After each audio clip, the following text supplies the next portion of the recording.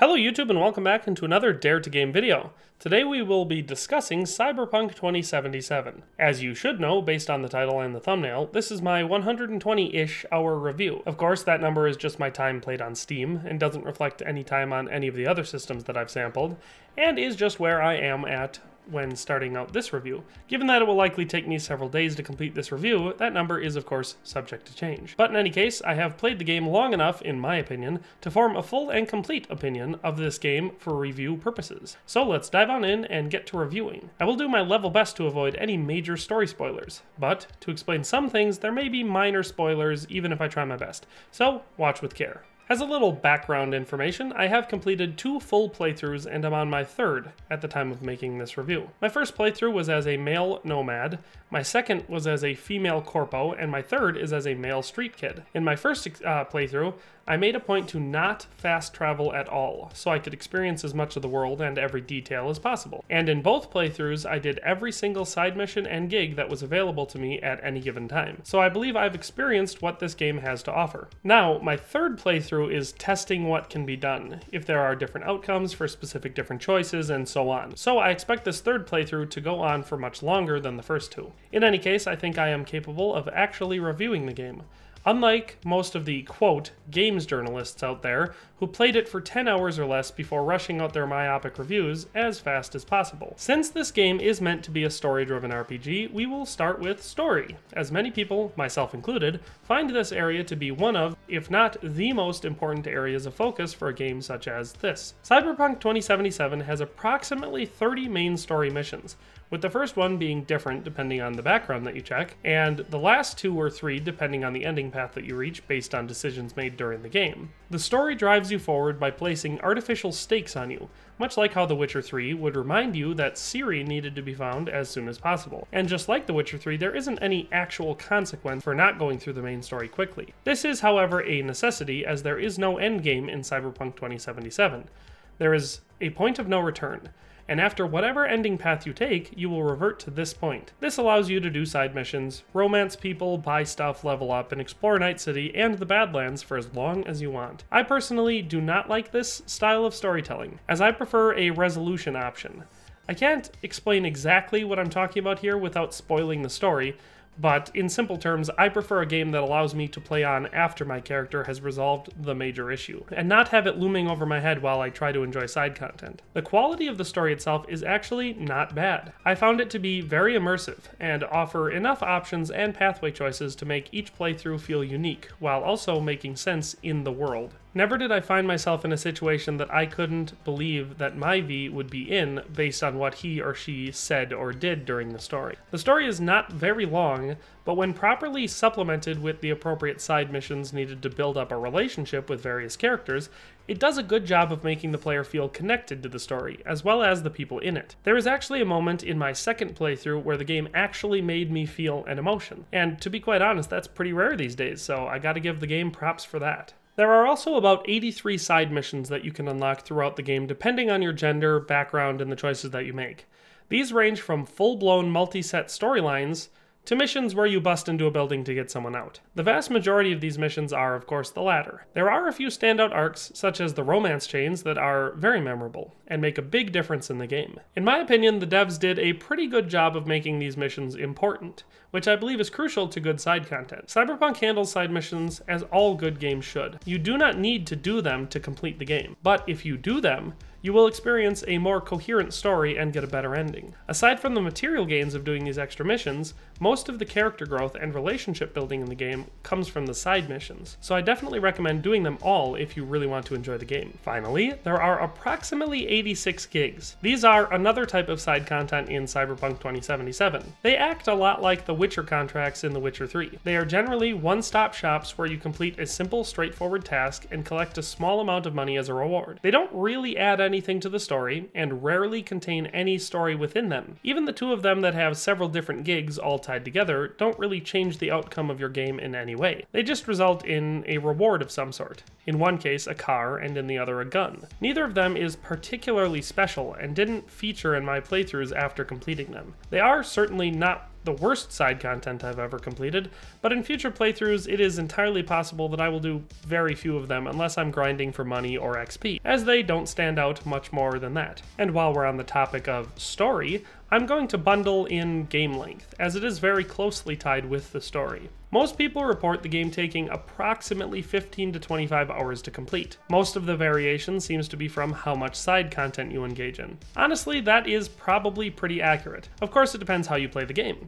If you bum rush the main story and do the bare minimum side content and go with the default ending, you could honestly probably finish the game in 5 hours, or maybe less. I'm sure there is already a speedrunner or two out there trying to answer that very question. However, if you explore the world and do the side content and actually let the conversations play out so that you are really experiencing the story, it is likely closer to the 25 to 30 hour mark. To be fair, that is not an extraordinarily long game when you consider a few other open world RPGs that we've seen over the last 5 or 6 years. Just as a few comparisons, the average playthrough of Kingdom Come Deliverance takes about 40 hours to complete. Fallout 4 takes roughly 60 hours, and The Witcher 3 takes about 70 hours. All of these numbers are via How Long to Beat. It's a website where you can look at a bunch of different games. It's it's decent if you're interested in how long it takes people to beat games, I guess. Uh, and those numbers are drawn from player averages that assume the main story plus around 40% of side content available. It should also be noted that each of these games goes well over 100 hours if the player intends to complete every scrap of content in the game. Given that this is the way I play these games, and have played each of them,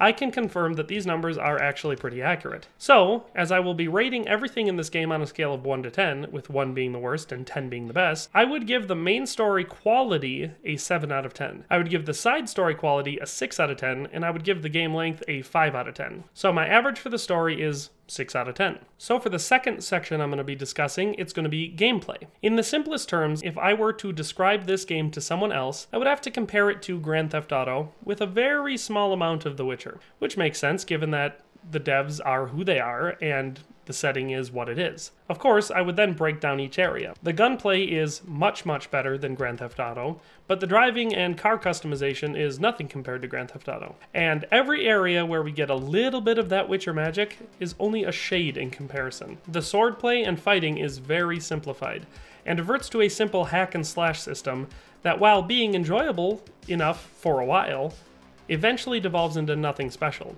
Whereas with games like The Witcher 3 or Shadow of War or Kingdom Come Deliverance, the combat gets more interesting as you go. In this game, in my opinion, it gets progressively more lackluster as the game proceeds. The cars in this game suffer from the same physics problems that the rest of the world enjoys that being wild inconsistency. This makes it nearly impossible to master the driving system in Cyberpunk 2077. Sometimes you'll be able to corner perfectly by feathering the gas as you go around the corner. Other times, applying the same method, you will overshoot, drift 30 feet sideways, overcorrecting, and killing three civilians. The cars simulate a tight handling system by appearing reactive, but if you try to navigate the dense streets of at anything above 40 miles per hour, you're going to quickly realize the vehicles are drifty as hell, and the margin for error is huge. It's like when you hop up on Grandpa's tractor and start to drive. You can turn the wheel halfway around before it actually starts to do anything. That's driving in this game. In addition to that, the vehicles don't seem to know when they should explode, throw you off, or plow through what they hit like a tank. I've had times where I crash my motorcycle into an oncoming car, and ramp the car off my bike and send it flying 100 feet in the air behind me. I've also had times where I run into the side of a car and explode. Or once, when I was stepping my motorcycle backwards, I hit a pedestrian and did a backflip off my bike. Needless to say, the vehicles in this game can be very fun to use, but the inconsistencies in the game physics leave most people scratching their heads. The gunplay is good, not great. The shots feel accurate, especially if you're using a mouse but I found that if I use a controller, which I prefer to do for games like this, it is very drifty and makes it super difficult to shoot anyone more than 20 feet in front of me, because my cursor will randomly drift to the side.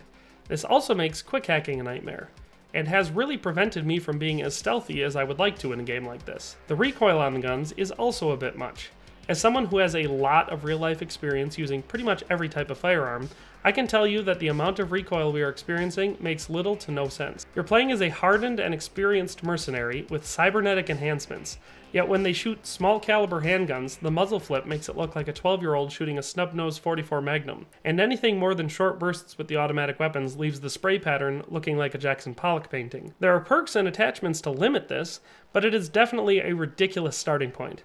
That aside, gun animations and sounds are all very good. I would say perhaps the best I've seen in any modern game. As far as another beef I have with the way guns work, dismemberment in this game sucks. I know that this is not a huge deal, as there are lots of great games out there that don't feature dismemberment systems, such as Kingdom Come Deliverance. But this game does feature it.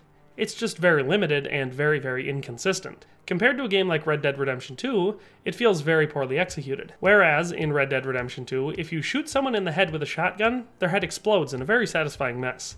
In this game, 9 times out of 10, they get a small hole with a little bit of blood and then they just fall down. Very occasionally, their head will come clean off or explode. The dismemberment works pretty well with bladed melee weapons, so if you get a swing anywhere near their neck, their head will just pop off, which is pretty cool. And of course, if you toss a grenade right under someone, there's a good chance it will blow their arms and legs and head off, leaving a bloody mess of limbs and guts. But as far as a dynamic, unique reaction to specific ballistic damage goes, Cyberpunk is well behind the curve. The cybernetics are fun. They all work pretty well and enhance the game in their own ways. Personally, the double jump upgrade is my number one most important, followed closely by Gorilla Arms. But there really are so many that can change the way you play the whole game and they do really make it so you can do things almost whatever way you want. There are mods to make time slow down in different situations, and one to give you a blast radius for jumping from a certain height. And of course, there are passive boost mods that give you more armor or health or RAM. So, lots of other things that can drastically change gameplay. So, honestly, other than the complaint that even if you have titanium skeleton, you still take falling damage for some reason, I love the cybernetic system in this game. Body physics are not ideal. When you shoot someone, they usually just slump down. If you throw them in the water, they plummet straight to the bottom and lie like a mannequin. If you want to throw someone off a building, they kind of slide down like a sack of liquid, but when they hit the ground, they kind of just bounce like a beanie bag toy. Honestly, they feel like they are weighted all wrong. If you stand right next to someone and blast them with a sniper rifle or a shotgun, they usually just kind of tip forward and fall down, usually without bending their limbs. When I shoot someone in the chest with a shotgun point blank, I want to see a Quentin Tarantino style splatter, followed by a rapid reverse acceleration with the optional backflip or Wilhelm scream. In short, combat should be an event all in itself, and not just a way to loot hot dogs and handguns off dead mannequins. Now, I don't want to make it sound like the combat is terrible, because honestly it isn't. I find that running around and slicing all of your enemies up with a katana is very fun for the most part, especially if you focus on the right skills to make it feel like you're an android Jedi samurai that slices through your enemies like Drax through Sakaarans. The sniper rifles feel heavy and powerful, like you could kill a transformer with one, so those are honestly pretty fun as well. And when the dismemberment and gore works, shotguns and powerful handguns are also pretty fun to use in cl- uh, close combat so it certainly does have its good points. Map navigation is alright. The city feels very dense because there are lots of buildings with multiple occupiable stories, and there are areas where there is a ceiling, so it feels like you can't go up, which offers a sense of claustrophobia in a lot of the slummier areas, which I think adds to the immersion. The whole world is technically open cell, so there are no load screens when entering a building or going up in a building. However, if you jump off the building, you die and there is no way to fly, so short of slowly parkouring your way up the side of a mega building or an overpass, the verticality is mostly meaningless. Unless you're trying to find something, then it's just annoying. I also find that given how much of the story for each area happens in a cluster for each borough, Cars are not super important gameplay wise unless you're in the Badlands. And even if you do have to go a long way, the streets are packed with tons of cars all going the same speed and always getting in your way, and of course suicidal pedestrians that will try their damnedest to get in front of your vehicle whenever possible. So while it's pretty easy to get around, and at the best of times it can be enjoyable, a lot of the time I would describe the map navigation as annoying. That being said, they did include an extensive fast travel system that is pretty convenient for most situations. So if you don't want to deal with all the negative stuff I was just talking about, you can of course just fast travel. For total features available in this game and what systems they have in place, I give Cyberpunk a 5 out of 10. The day and night and weather cycle are very limited and don't really change much at all, especially in a city where the nights are just as bright given how many lights there are. Not to mention, there are so many people walking around at night, you would think it was still rush hour. If I was going to rate how well the implemented systems work, I would say 7 out of 10. The hitboxes can be a bit strange at times, and there are all the flaws I mentioned, but the combat is in most ways a fully functioning system with almost limitless ways to approach every scenario. And as far as the game physics go, I would honestly say 4 out of 10. Most of the systems in this game feel wildly inconsistent at the best of times, and horrendously immersion breaking at the worst of times. And given that games like Red Dead Redemption 2, which came out two years ago, do most of these things way better, I was not very impressed with Cyberpunk's physics. So my composite score for gameplay is a 5.33, repeating, out of 10. So, moving on to our next section. Given that this game was marketed as a role playing game and that it is an adaptation of a tabletop RPG, it makes sense that the RPG elements would be part of this discussion. This is an interesting topic, as most people agree that even though The Witcher 3 is a nearly flawless game, it is not by most definitions an RPG, as most of the choices you will make and customization that you can do is really all surface level, and the game will still play very similarly no matter what you do. So, Cyberpunk 2077 is really CD Projekt Red's first proper RPG, and honestly, I think this is one of their strengths. For starters, there are the different backgrounds that you choose at the start of the game which shape your whole first act, as well as your speech options throughout the game. Then, there is the fact that you can choose your gender and voice, which again will make a difference when it comes to who you can romance, and how people will react to some things that you say or do. Interestingly, you can choose and, to a certain extent, customize your genital. However, I have found that this makes absolutely no gameplay difference and is entirely just for you. So I think it's a pointless addition. For example, if you want to romance River Ward, a male character in the game, you must have the feminine voice and body type. However, if your feminine sounding and looking V also happens to be sporting a male member, he's still down for the swirl. So to me, this feels like a pointless addition that could have been handled much better. Similarly, you can totally customize your face and hair but you very rarely see yourself. Short of looking at yourself in the menu, or in the mirror, or the like four cutscenes in the game, you're always in first person mode, so it doesn't make much of a difference. Don't get me wrong, I actually prefer to play role playing games in first person mode most of the time, as I find it more immersive. But my favorite games are those that allow you to switch between perspectives, so you can look at yourself if you want to. This also makes the clothing system mostly pointless as at least as far as looks go. So most of the time I just use whatever has the best stats and throw aesthetics to the wind. Arguably, the worst RPG related problem with Cyberpunk 2077 is the fact that no matter what you look like, no matter what you wear, and no matter what you do, the world does not react to you. You can walk around stark naked, and people will talk to you as if it's nothing out of the ordinary. You can show up to a gang meeting wearing the most expensive clothing in the game, and it will play out no different than showing up in shorts and a tank top with no shoes on. There is no charisma effect, no intimidation factor, no status flaunting, nothing. This, once again, diminishes the importance of caring about what you look like or wear. However, where the game does shine is the skills and attribute system. Cyberpunk has a nearly perfect leveling system that both allows you to fully customize your character for the playstyle you want, as well as preventing you from being an unstoppable Mary Sue, who is the top of his or her field in every single field. There are only 5 attributes and 12 skills, each corresponding to the appropriate attribute. The attributes are self-explanatory and leveling them up allows you to improve those skills and unlock new abilities and gain passive boosts in some instances. Altogether, this means that if you plan it out, you can customize your character to fit perfectly into your desired playstyle. However, this system is balanced by a level cap of 50, which means that there is a finite amount of attribute points that you can earn so you can't max out every single attribute. So, if you level up intelligence all the way to get better at hacking, you may have to sacrifice your brute strength. Much like in real life, if you spend all of your time working out and practicing gunplay, you can't exactly also spend all of your time reading and doing research. This sense of finite ability points makes each one important. There is a system to respec your skill points, but it is pretty expensive, so it's not something you will do a lot. There is not, however, a way to respec your attribute points, so choose wisely. Personally, I like this system.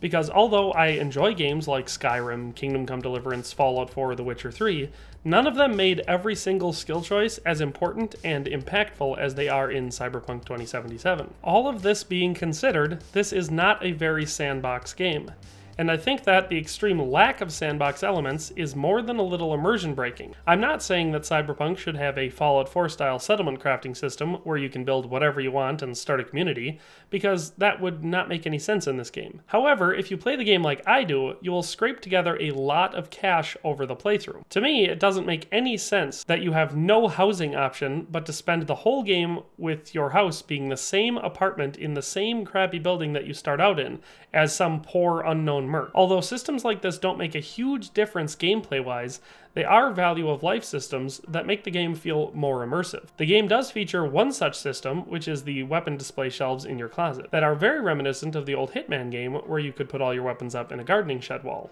So for appearance customization, I have to give it a 6 out of 10. You can make yourself look like whatever you want, you can choose your gender and even your genitals, but it makes no gameplay difference and you almost never see it. So it's a shallow feature that I find makes little to no difference. As for skills and leveling, I give it a 10 out of 10. It is easily one of the best games in that department I have ever played. The choices are all meaningful and can drastically change the way that the game plays, making it feel like your character actually is personalized. And unlike some games like Skyrim, it is not an overcomplicated system. So while you have this extremely good level of customization, it's also very simple, which is perfect. Finally, for effect on the world around you, it's gotta be a 5 out of 10 for me. You can clean up the streets by taking out criminals, but it makes no real difference. What you wear has no effect on dialogue, or NPC reaction, or interaction. And you can't buy or build anything special in the game outside of weapons and cars, no matter how rich you get.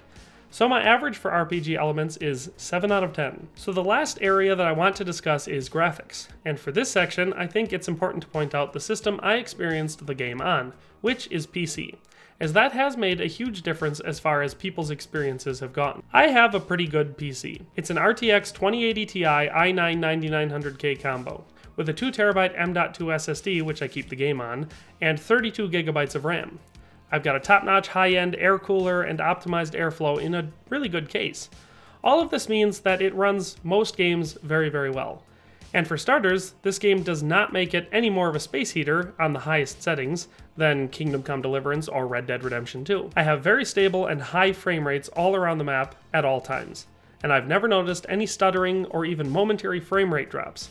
So performance-wise, this game runs very well on my system. Additionally, I have not experienced a single crash in the entire 120 hours I've played so far, even with multiple other programs running and running other stuff on my second monitor. So on PC, especially higher end PCs, this game runs very well. As far as specific specs go, I have been in contact with a lot of other people playing this game on PC, and their experiences have been very similar to mine. The lowest end PC being a 1070 Ti and i5 8400 combo, which ran the game very well on high settings and never experienced any major frame rate drops or game crashes. So despite some stories to the contrary, it does not need to be a super high-end PC to run very well. It seems to run pretty well on most modern PCs, so this experience should be relatively consistent as far as computers go. Of course, it should be noted that this does not hold true for consoles, especially last gen consoles. The game looks pretty bad on PS4 and Xbone, and performs even worse. Similarly, Apparently on the PS5, it crashes every 30 minutes or so for most people. In fact, there were so many issues and reports that Sony pulled it from their store and started issuing refunds. Something that is pretty much unheard of in the gaming world. In short, if you want to play Cyberpunk 2077 on a console right now, you better own an Xbox Series X. And then you should still temper your expectations because it doesn't appear to be very well optimized for consoles. With all of this in mind, when you have the right hardware, the game does look pretty dang good.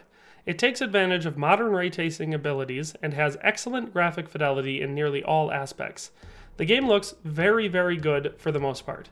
If I was going to nitpick, I would say I'm not blown away by the water in the game, but that's not a huge deal because there isn't a lot of water in the game anyway and the NPC models are nothing too impressive. To keep things simple, I'm going to be rating this section for PC, so bear in mind that it would probably be much, much lower if I was rating it for consoles.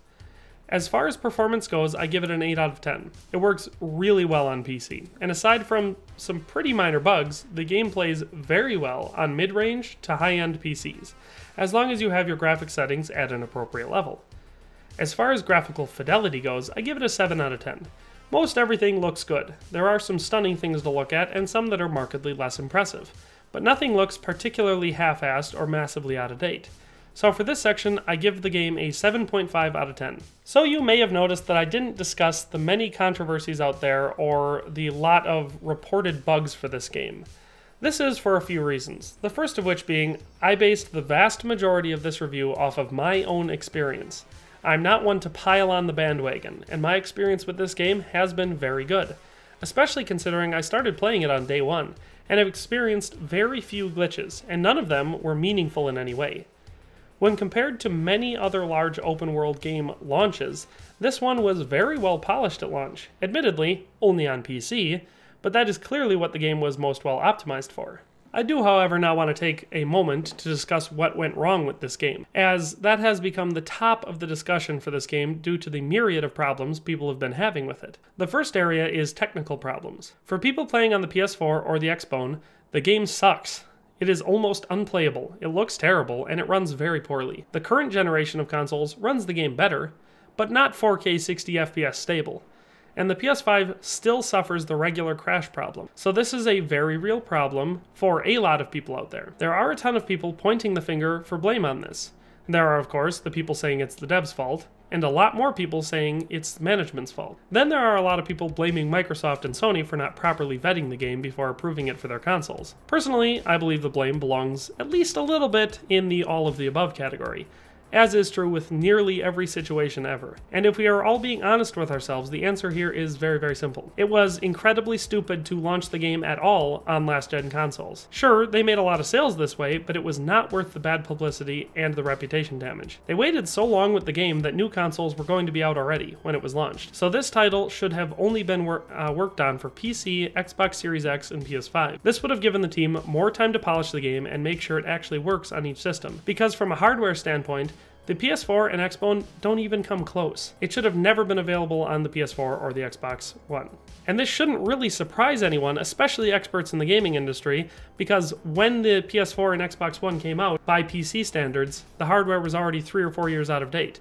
And that was, what, seven years ago? So it shouldn't be too surprising that it struggles to play a game that, you know, stretches the new system's legs. And the second reason a lot of people are hating on this game right now is mostly their own fault. I know that may sound harsh, but it really is. Cyberpunk 2077 is a victim of, a, of ridiculous amounts of overhyping. For nearly eight years, countless people have been frothing at the mouth for this game, insisting that it would be the game of the new decade, and set a new gold standard for gaming. But there was never any real evidence that this was going to be the case. Sure, The Witcher 3 is the gold standard. However, that game had the advantage of taking place in an existing world, with well-developed lore, characters, and honestly a way better setting. It's an apples and oranges comparison. I went into this game with literally no expectations. I knew nothing about the world, other than it was vaguely futuristic and slightly dystopian. I knew nothing about the story. I had no connection to anyone in it. All I knew was that it was an open world, story driven action RPG made by CD Projekt Red. And because I went into it with realistic expectations, it met or exceeded all of them. Gamers have a problem with setting realistic expectations for games, especially when they are announced way too early